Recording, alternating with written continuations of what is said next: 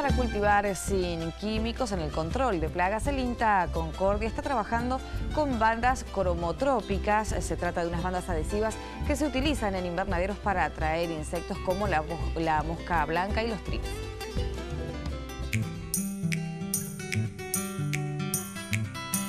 El control químico es el control convencional que se utilizó siempre en, en horticultura para el control de plagas y enfermedades.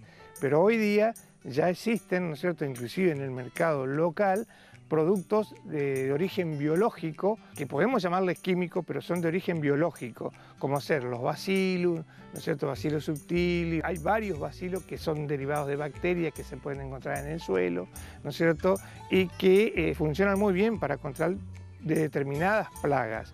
También tenemos otros métodos, como ser los métodos físicos, que son, por ejemplo, las bandas de color, por ejemplo, tenemos las bandas cromotómicas de color amarillo o de color azul.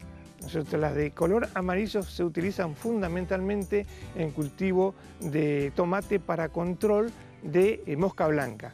Es un método que funciona muy muy bien y eh, las bandas de color azul son las que se están utilizando para control de trip fundamentalmente en pimiento.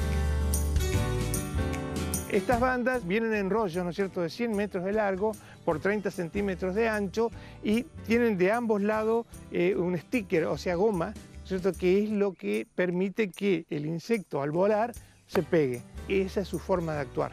Se lo coloca a una determinada altura, como podemos ver, y a medida que va subiendo el cultivo que se va desarrollando, nosotros podemos ir subiéndola o bajándola.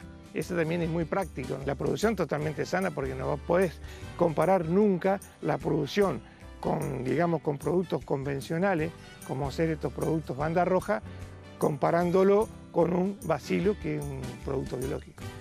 Los productos no son costosos, inclusive te digo más, son más costosos los productos químicos. El problema es que esto el productor ya lo tiene arraigado porque ellos vienen trabajando desde sus abuelos con estos productos químicos.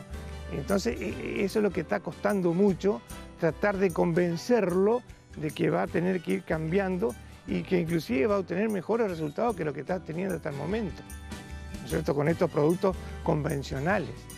El objetivo global a que apunta este tipo de técnica es que el consumidor, que, que te está comiendo ese tomate o ese pimiento, lo haga, digamos, eh, sin tener eh, ese remordimiento, ¿no es cierto?, de que puede llegar a causar algún tipo de problema de salud.